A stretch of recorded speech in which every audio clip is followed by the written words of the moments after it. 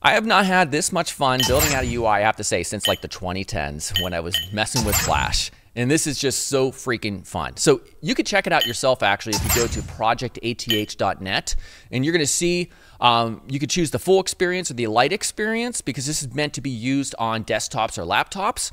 The full experience here on my PC, if I get out the FPS counter, is actually pretty solid. It's 60 frames per second. It might not be for you, so you might want to choose the light experience.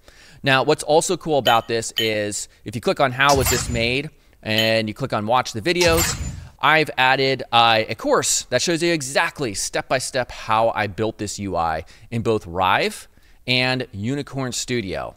So here's what's happening essentially. I, at the base layer, we have Rive. And if you want to see what that looks like without Unicorn Studio, just go to index2.html in the URL bar, hit enter, and you'll see this is what Rive itself looks like without the Unicorn Studio layer. So the Unicorn Studio layer is actually positioned on top uh, with a Z index that's higher with a mixed blend mode that allows all the colors and stuff to kind of, I guess you could say, mix with the Rive underlayer. And that's why I can hover over this area right here and you can see how this fire effect is interacting uh, with different elements inside of Rive itself. So this is actually pulling real-time data from the CoinGecko API as well. So we work as well within Cursor to prompt all this into existence in order to communicate with Rive. So there's no writing code, it's all prompting. And so I show you exactly how to do that as well.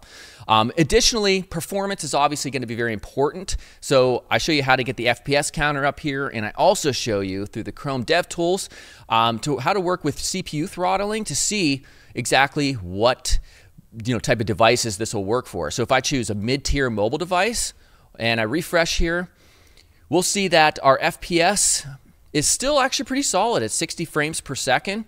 Um, if you try to use this maybe on a phone or a tablet, it might have a harder time. So it's why we also created a light experience right here, which still uses Unicorn Studio, but it's just not as intensive. There's not as many layers added to it.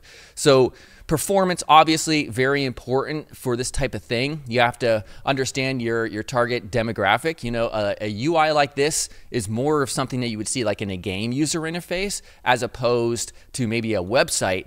But don't worry, this is available on web. Obviously, you're using it on the browser.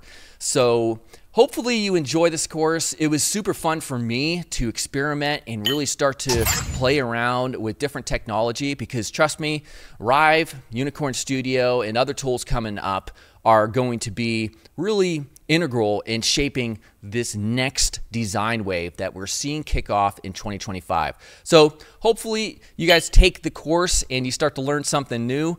I know I am, and I'm having super fun. So I'm releasing a course every month that's based on a project of some sort. And so hopefully, uh, again, you guys check it out, and I will see you all very soon.